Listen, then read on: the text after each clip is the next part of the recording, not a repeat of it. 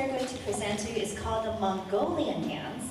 In this dance, you might see some different props. Now, I want to ask you, what are chopsticks for? For eating. Everybody said eating? Alright, however, today we're going to use chopstick to dance. Now, please keep in mind when you go to Chinese restaurants, please do not dance with the chopsticks there because it's only allowed on stage. Now, put your hands together to welcome the Mongolian dancers.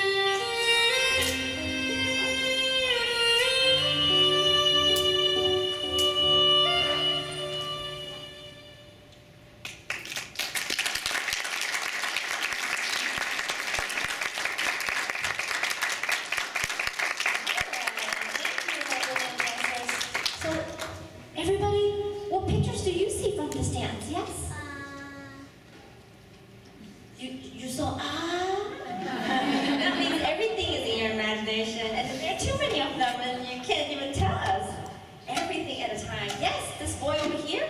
Uh, Do you see horses? Because horse is very popular in Mongolia. People love to ride on a horse and enjoy the weather, the cloud, and nature on the grassland. So after the Mongolian dance, the next dance we're going to bring to you is called Tibetan dance. There's so many different forms of Tibetan dance, and today we're going to show you one form is called the Kangding Tibet. Before we start the dance, I want to teach you one movement for everybody to wiggle a little. Everybody, get ready. Straight your back, open your shoulders. Excellent, everybody seems like a dancer now. And this movement in Mongolian dance is called laughing shoulder. Everybody, shoulders up, and drop the shoulders down. Keep your back straight, and shoulders up, down, up, down, and up. Go one,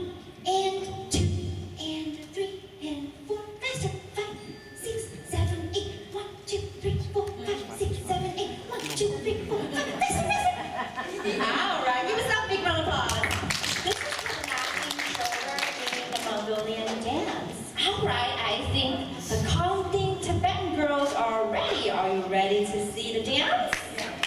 Put your hands